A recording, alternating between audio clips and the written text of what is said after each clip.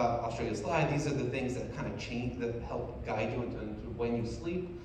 And it's this shift that happens in puberty, somewhere in 12 into 13 through 20 to 21, that makes it, it almost impossible for the little kids who went to sleep at 7.30, 8, 8.30, they cannot fall asleep before 10.30. It's like, for you guys, it's like 8 o'clock, you know, in your body. Like, you might be tired, you're exhausted from the day, but you just can't get to sleep that early.